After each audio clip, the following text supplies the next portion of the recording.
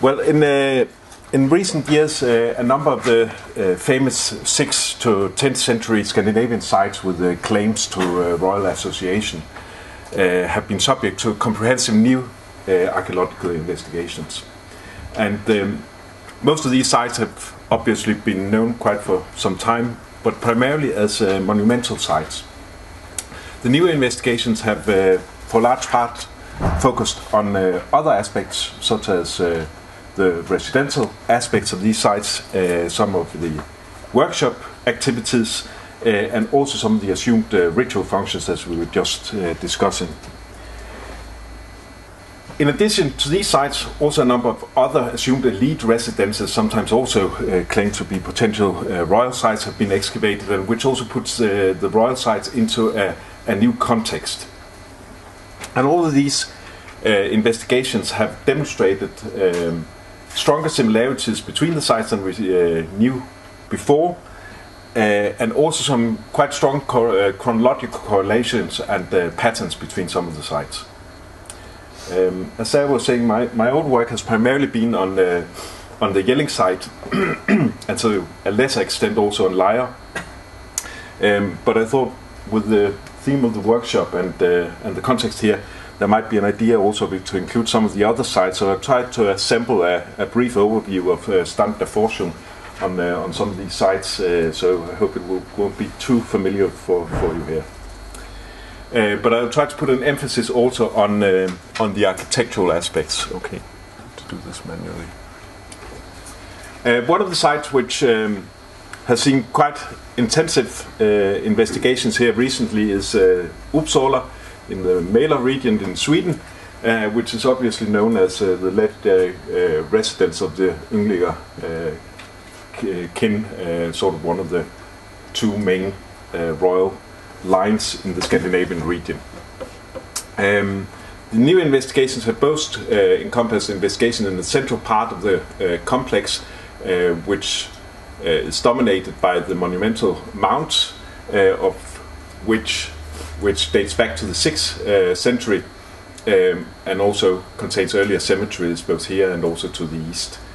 Um, but there have also been quite extensive excavations uh, east of the complex in connection with uh, different rescue excavations. And the most recent overview has been published by uh, John Ljungkvist and Per in a paper here from last year, uh, which draws up uh, the overall development of the complex. Um, in terms of the dating, um, there's some uncertainty as to the beginning of the elite elements in the Uppsala complex as it looks at the moment. It might extend back into the 5th century, um, but it's clearly most pronounced at the moment in the 7th and uh, 8th, uh, partly the 6th century also. Um, the investigations in the uh, central complex, uh, the most spectacular findings are large uh, hall building structures. Um, this one uh, is the most uh, well investigated, and which is situated on a large uh, artificially constructed plateau up to seven meters tall, um, and with a hall structure which is about 50 meters long and up to 12 meters wide at its widest, and which, in terms of its internal organization, uh, follows a pattern which seems to be relatively widespread in the Scandinavian area with some asymmetrically uh, or, or placed uh, entrances uh, and some large hall rooms in the center of the building. Um, this seems to be the main entrance with double doors. Um, and um, uh, the building appears to have uh, been burned down. Uh, it's uh, reconstructed through several phases, uh, but the burning is discussed as a potential deliberate demolishment of the building and perhaps also associated with some depositions of part of the um, contents of the building. Beyond this main hall structure, there are also other uh, large structures which have been discovered on other uh, plateaus and in the vicinity of the uh, main plateau. Uh, the function of these uh, are uh, open to discussion. It's been suggested that this might be a workshop area. Um, and there are also new findings down in this area here which indicate that there might also be traces of further buildings.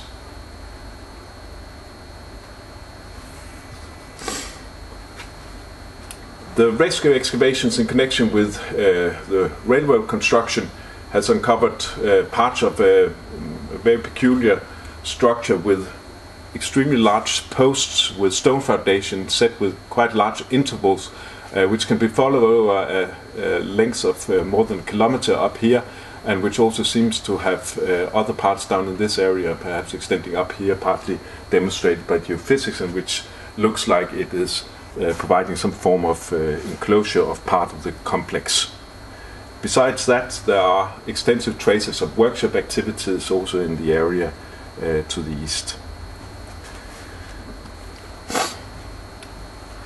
Another site which has seen uh, quite a number of new investigations and which has also just uh, been uh, published in a major monograph by Tom Christensen is the Lejre complex, which is then the legendary seat of the other of these main uh, um, uh, kingship families in the Scandinavian uh, area, the Skjoldungs, um, and uh, situated centrally on uh, Sealand in uh, Denmark. It's also characterized, as we just heard, by monumentality, both in form of older monuments dating back to both the Neolithic and the Bronze Age, but also with some new monuments being constructed uh, from the 6th century uh, with at least one great mound at that time, and then later in the Viking Age also with uh, four ship settings and a cemetery, um, which are found um, on the other side of a valley. Um, compared to uh, the new investigations of large residential complexes which are situated here and here, which, which seem to represent two uh, stages in the development of uh, a residential uh, site. The dates, um, are, and in addition to this, are also indications of uh, extensive workshop activities in the area down here uh, uh, towards the later part of the complex. it has been suggested that um, um, a number of the, metal detector find in the area to the uh, west represents different depositions and thereby are evidence of the ritual activities which are assumed to also characterize these sites. Um, is uh, just as a point, uh, uh going back to the discussion about these uh, uh, potential hunting aspects of the site, it's situated in a kind of marginal position in the landscape between a, a primarily agricultural landscape to the, to the east and then a relatively uh, uh, or historically uh, forested area to the west, um, and which seems to have had very little sort of agricultural exploitation throughout prehistory. So it might fit into this model we talked about previously. If we take a closer look at um, the different parts of the complex. We have here the northern part, which is the oldest, dating back to the 6th century, seems to be the establishment of the site, uh, and which again has one of these relatively large hall structures. It's not terribly well preserved, and then there are traces of other uh, uh, secondary buildings uh, in association with uh, this main building. Um, there's a large uh, stone heap with different layers of uh, burnt stones and also containing some uh, artifacts and which resemble somewhat what Gabor was also presenting at Lyminge um, and which has been suggested to have ritual functions, but it's something which is uh, a bit open uh, up for debate.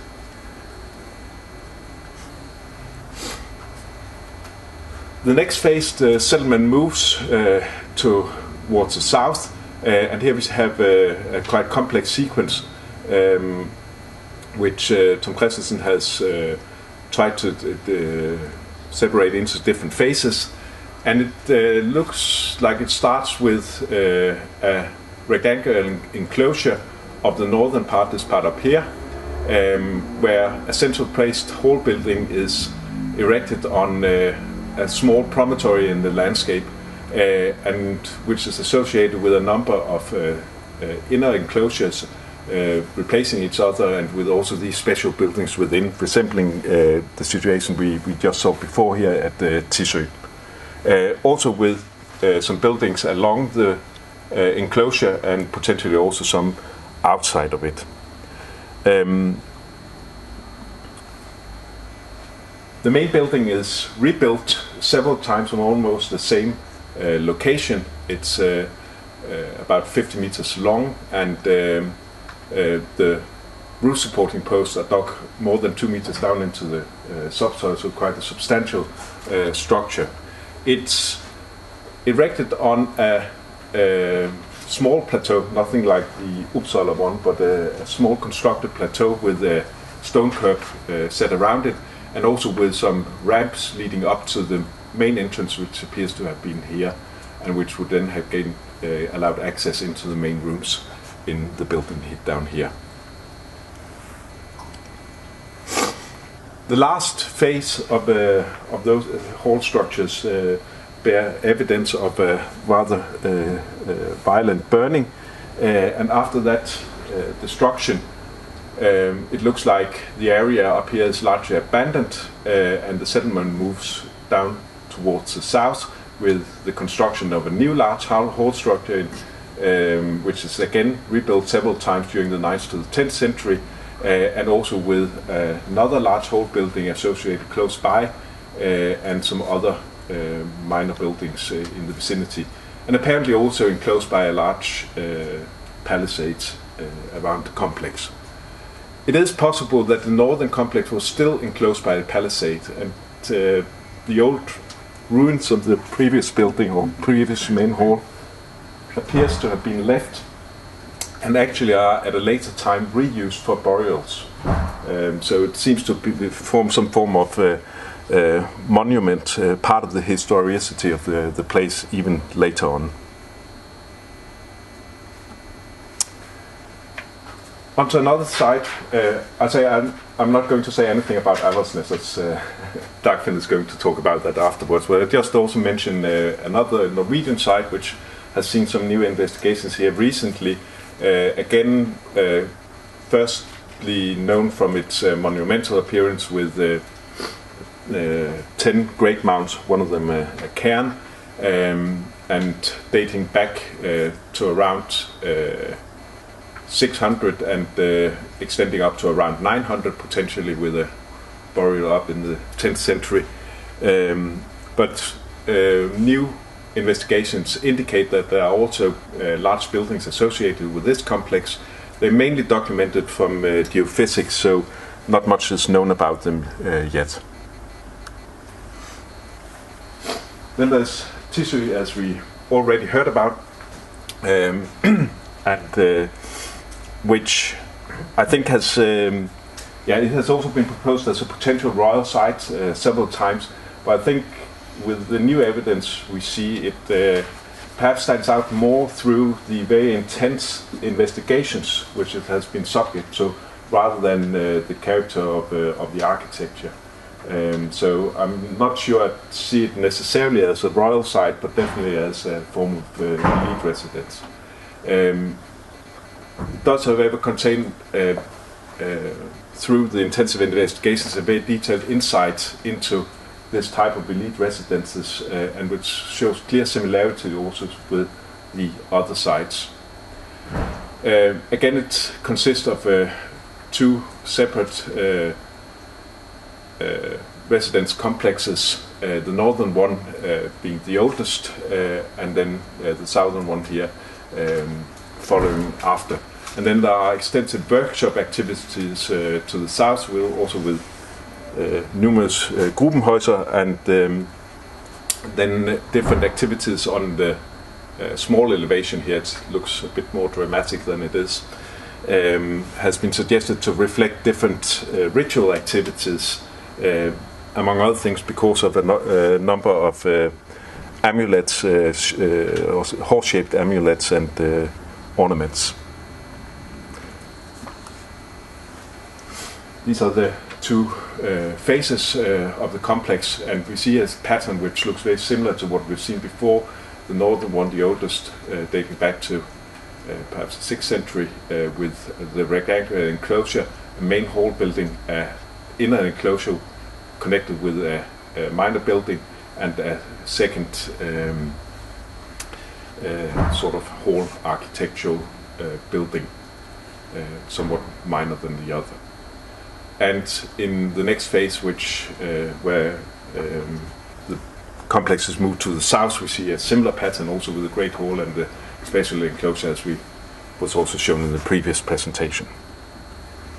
So if we try to um, to uh, draw up some lines from these different sites, we can see that they, they do show some uh, very similar elements in that they have this combination of uh, uh, different aspects. They have the combination of the monuments, the burial monument, the residence buildings, uh, uh workshop activities associated with most of the sites, uh, and also some uh, ritual practices which um, has been suggested to reflect the a form of centralization also of the of the rituals. There's a very close correspondence, as it looks at the moment, between the architecture of the main buildings of these sites large part of them seems to follow a almost fixed uh, template with this uh, ascent to the centrally placed uh, entrance rooms uh, next to the uh, main hall room and uh, also with the main fireplace situated there and then different functional rooms towards the gables. Um, and also at times with a location which indicates a very specific choreography in the, the uh, approach towards the house. There is, um, at least for the Danish examples, uh, a relatively clear and uniform spatial organization which can be generalized with this model here. They seem to have this centrally placed hall building within a relatively rectangular enclosure. Um, there's often a secondary hall building uh, associated uh, uh, with the main building found within uh, the central parts of the enclosure. Uh, quite a lot of them have this inner enclosure and also with a special building which has been suggested to be ritual in nature, um, even though part of the evidence is actually an absence of evidence that the empty areas in here are often quite empty. Uh, and then there are different storage and economy uh, buildings found along uh, the enclosure, and workshop activities often associated with uh, Grubenhäuser found outside of the enclosure. When we look on the chronology, at the moment, uh, based on the available evidence, there seems to be a very strong correlation of the chronology of these uh, sites here. Uh, they start around 550 to 600, um, and all of them show a relatively uh, strong continuity not only in, uh, on a site level, but also on the individual main buildings, which are often renewed repeatedly on almost the same spot. And, um, and in this way also demonstrates uh, the history of the complex. And this emphasized historicity of the places is probably also seen in, uh, as we also talked about, in, uh, in the strong uh, association with, with monuments, both monuments constructed at the sites during their uh, lifespan, but also earlier monuments. Uh, and then it's also quite characteristic that uh, almost all of the buildings um, have destruction horizons, quite extensive destruction horizons, which has led to different interpretations, both uh, it being a reflection of uh, a form of ritual uh, renewal of the of the main building um, or uh, a sort of coupling with the uh, ideas of conflict being focused on this uh, hall building itself, with the burning of the halls as a representation of the destruction of of the elite inhabiting them. Compared to these sites, Jelling is somewhat of an anomaly. It appears in a landscape in, in Jutland uh, without much uh, previous evidence of uh, elite uh, manifestations. And it's also quite late in the development of these sites and with a very short uh, duration. So it stands out from, from the other places. It's as Uppsala and Lejre uh, also one of the historically attested royal residences associated with the Jelling dynasty, um, and this is also demonstrated by contemporary sources in the form of the runestones uh, found outside the church today. Uh, the small runestone here, its original position is unknown, uh, but it contains the inscription of uh, King Gorm the Old, who uh, raised it over uh, his wife, Queen Tyra. And then there's a ra- large runestone where King Harald Bluetooth proclaims his conquest of of the Danes and uh, also his uh, and Norway and also uh, his Christianization of of the Danes. Um,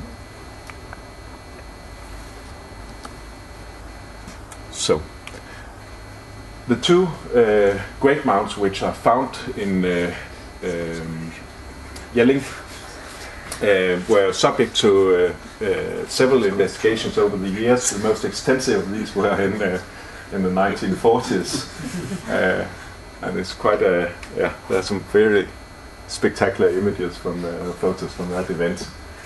It was actually excavated because there was a fear that Germans would uh, initiate excavation, so they were they, they started the project to get there in advance. Um, the northern mount contains a burial champ, uh, chamber which was uh, plundered uh, at a relatively early stage, but which uh, contains a few artifacts uh, belonging to the mid 10th uh, century and of a very high uh, quality. the southern mount didn't have any traces of a burial and seems to be have been erected either as a cenotaph or for a different function as burial monument. But it covered uh, parts of a large uh, stone setting, um, which was uh, relatively early on identified as a potential uh, ship setting, um, and uh, which has also been reinterpreted in connection with the new investigations which uh, have been conducted here in recent years and which have been primarily focused on the areas uh, around the monuments, uh, trying to identify different activities in the immediate vicinity. And the results of these investigations um, uh, shown here, uh, it's basically revealed that the entire complex was uh, enclosed by a 360 by 360 meter large palisade structure um, with quite deeply founded posts. we expect that it has been about three meters tall, um, and with some buildings uh, along the inside of the palisade, uh, and today, because of finds of stones up in the northern part here, we hypothesize that uh, the stones found underneath the South Mound might have been part of an almost 360 meter long ship setting which entirely enclosed the northern mound. These new finds also um, draws the interpretation of previous finds under the church into question. Um, these under the church, a number of uh, uh, wooden buildings were uncovered which preceded the present church, and they were originally thought to be predecessors of the church.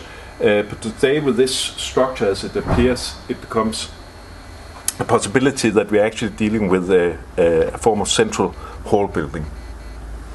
Just show a picture of the houses which we can see along the interior of the palisade.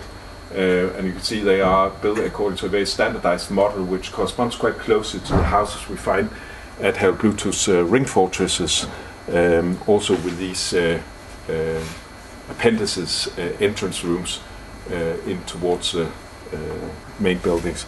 And actually, this type of architecture would normally be a main house architecture in rural settlements of the time but here they are found as secondary buildings. Here's uh, one of the early phases of uh, wooden buildings underneath the church, and basically our inter interpretation is that we are seeing here uh, a part of, uh, of one of the great hall uh, architectural buildings uh, with entrances here, and then you would have had the main room here in, towards the west.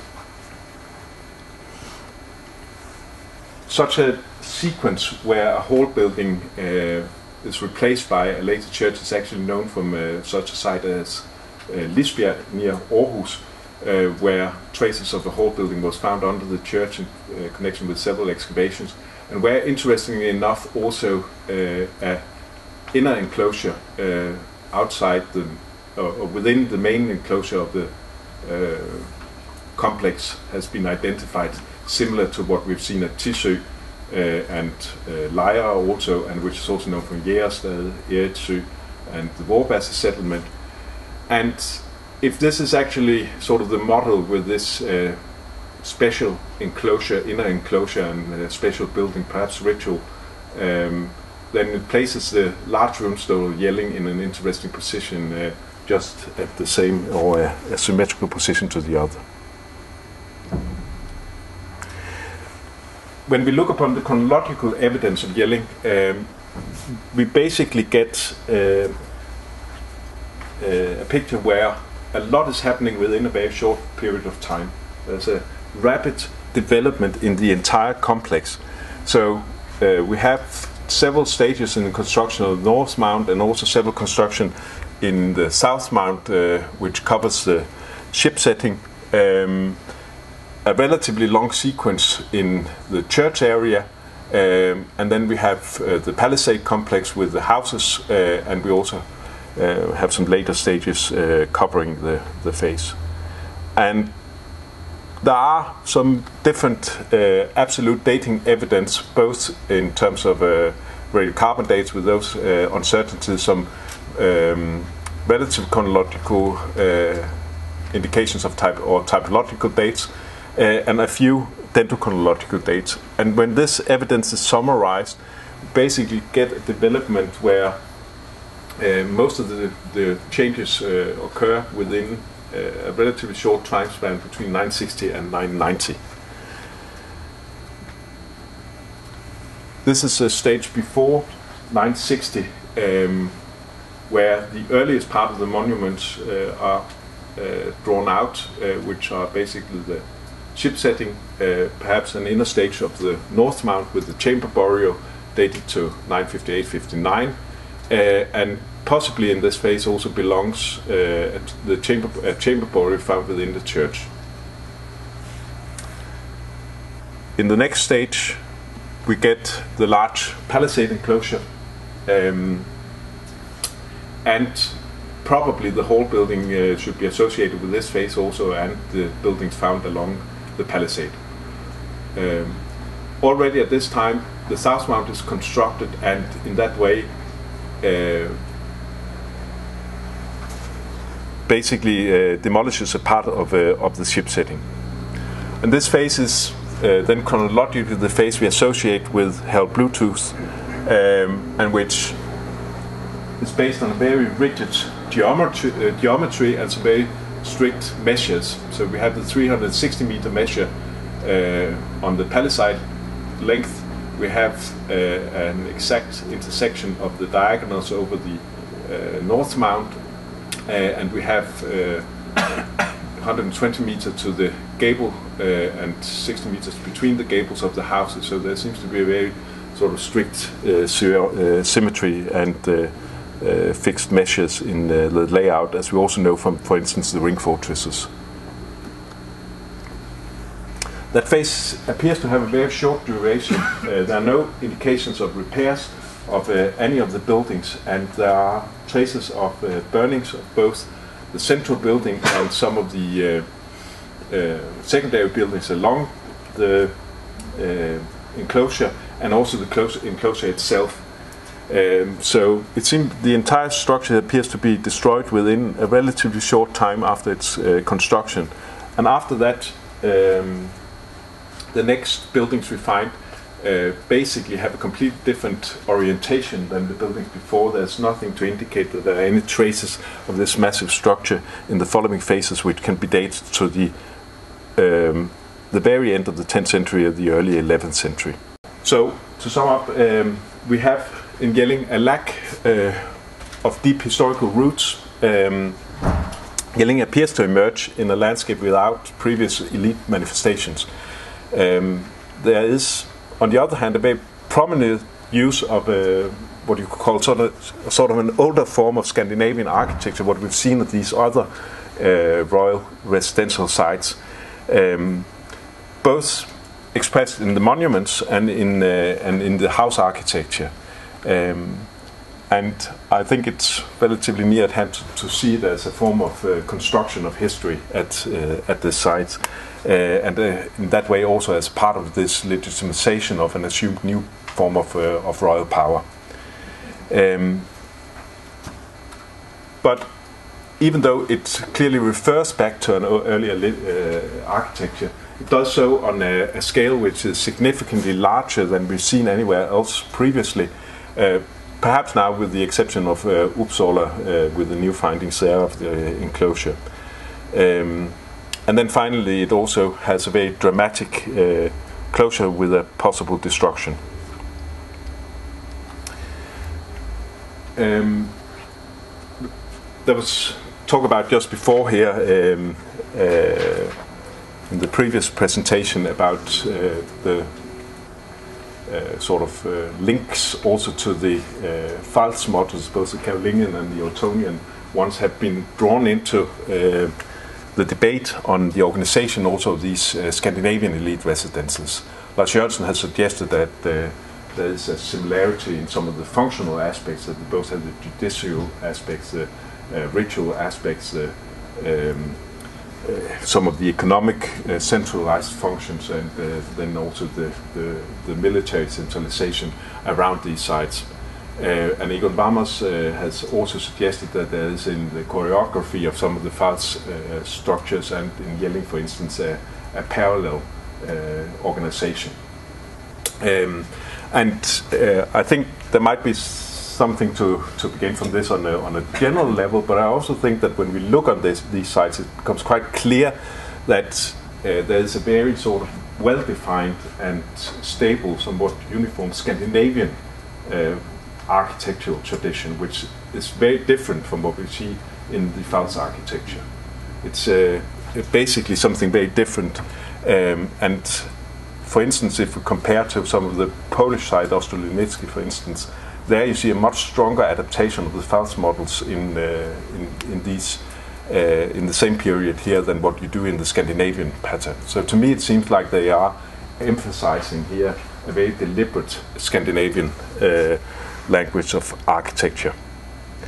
Um, and this architecture clearly relies on a quite old tradition um, which is strongly normative because we can follow back uh, clearly into uh, Gudme, which we already talked about before, uh, but where new indications also, or new excavations also indicate that this was actually also this main part of the complex where we have the large 50 by 10 meter large hall structure here, uh, was originally partly uh, enclosed um, by some form of uh, fence or palisade. We have the special function buildings down here. Uh, we have a separate uh, secondary hall building up here. There's much of that structure which we see in the following centuries um, from the 6th century onwards, which already seem to be well established when we are back into the late Roman Iron Age in the 3rd, 4th century um, AD.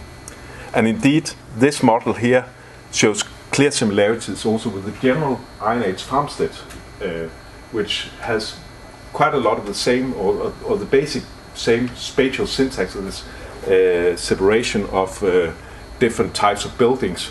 With the main farm building, the Moonstall longhouse, uh, longhouse uh, situated centrally uh, on the enclosure, at times with secondary buildings with separate fireplace and also with often a quite uh, extraordinary artifact material coming from these buildings, and then with other functions, um, economy functions, storage functions along the uh, fences.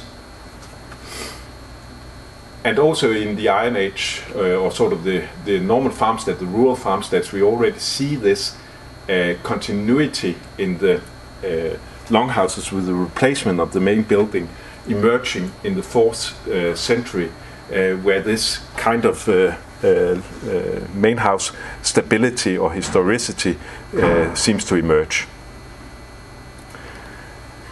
When we get into the Viking Age, um, we, we also see a relatively complex uh, interplay between the rural settlements and the elite residences in terms of the architecture, with elements from the elite residences going into the normal uh, agrarian settlements uh, and vice versa. So there appears to be a relatively uh, complex uh, situation, uh, which probably also reflects some of the dynamics of power.